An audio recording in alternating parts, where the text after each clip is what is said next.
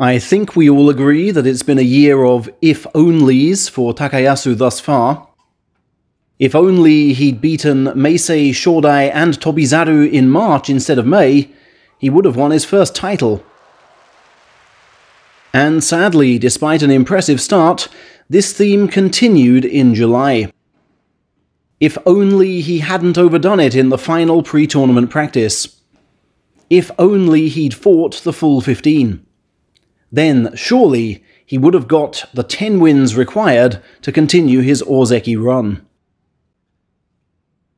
It's never easy diving in on day 3 when others are better warmed up and acclimatized, which is why his first performance deserves such praise against a strangely fired up Ichinojo who had won his first two.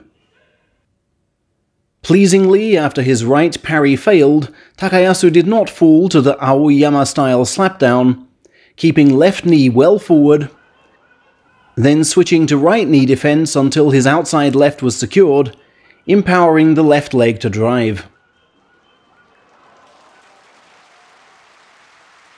Endo, we now know, was injured and not a credible foe, who almost couldn't wait to touch down once swung out of position and pinned from above. His injury aggravated, Endo withdrew after this bout. But Takayasu's third bid for successive wins over Meisei also ended in misery. The smaller man fencing from distance, knocking him forward, and seizing the limp left arm with gusto. Come day 15, this would prove to be a crucial loss. At the time, the Ibaraki man bounced back, extending his record against Daieisho to 10 and 3 with a downward parry from shoulder height He perhaps inevitably lost a fourth bout straight to Takanosho, his left armpit breached, his right elbow pinned, but then won his next four. A determined inside left and left knee deployment on Mitakeumi reaped rewards when his fellow Sekiwake offered up his belt.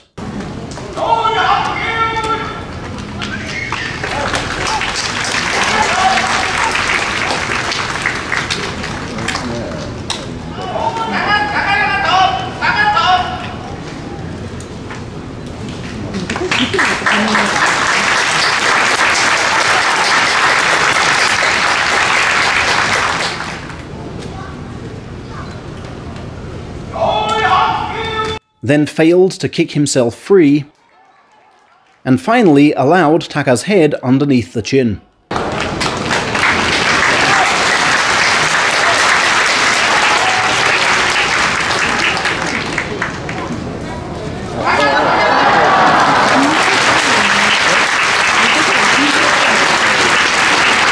Next, fine defense against Hokutofuji's flying neck shot saw footing recovered, a strong pin of the left triceps, and a well-timed backward step for the slapdown.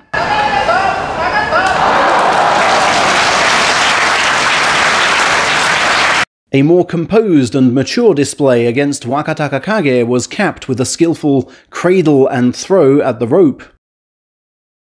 Before some equally thoughtful thrusts on Tobizaru paved the way for a slapdown which gave him seven wins from the nine matches fought.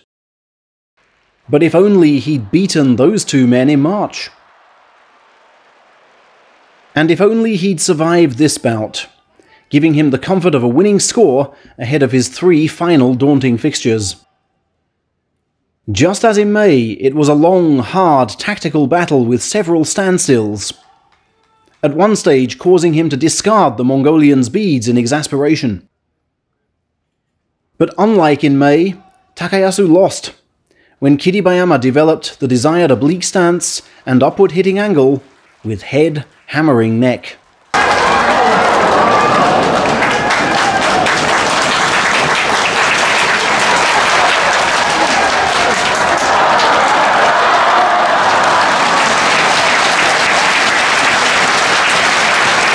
And I wonder if this three-minuter asked too much of his hips.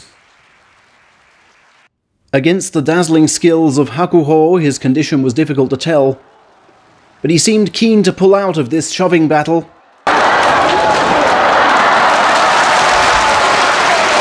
and was clearly in lower back pain here. Four devastating defeats to finish left Takayasu 7 and 6 with two absences, thus sealing his demotion.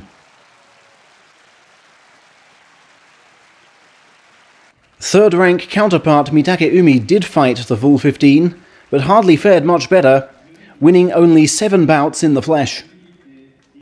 Despite being overwhelmed in the opener with Ichino analysed in the link above, Mitake began flattering to deceive, connecting well with Takanosho's throat, and with his right boring through, doing excellent work with the left arm block and clamp.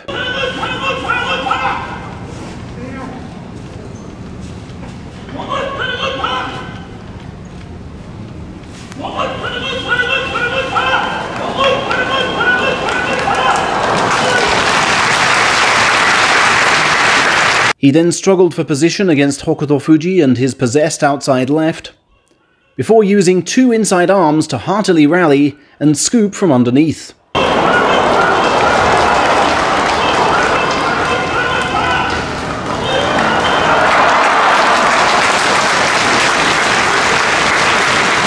Then subsequently spearing Tobizaru with a right-sided attack,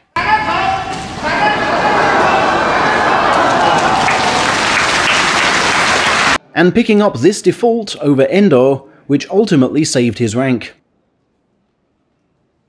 Against Meisei, though, did the wheels start to come off. The man to whom he never lost until May, relentlessly clubbing him with the right, before jerking to the left for the finish. Although his face got further used to the feel of Daieisho's hands, he stayed cool enough to sidestep, retreat, and keep landing his own right until his foe fell forwards. That 19th defeat in 25 to Takayasu ensued, though, and an easy win over forlorn interloper Kotoeko could not mask the loss of belief. It seemed to drain from him even after defeat number 2. A first ever slapdown humbling by Shodai was followed by a meek surrender to Terunofuji, and a one sided battle with Hakuho's divine inside right. In the end, only the awfulness of injured Okinoumi arrested the slide. Before a startlingly accomplished display in this first meeting with Hoshoryu, telling thrusts and a sublime belt grip break, brought up his winning score. His final day showing against University junior Wakatakakage, though, who sees him as a god, perhaps now a demigod, was just awful. His bouncing legs producing insufficient power, and ripe for pulling off balance.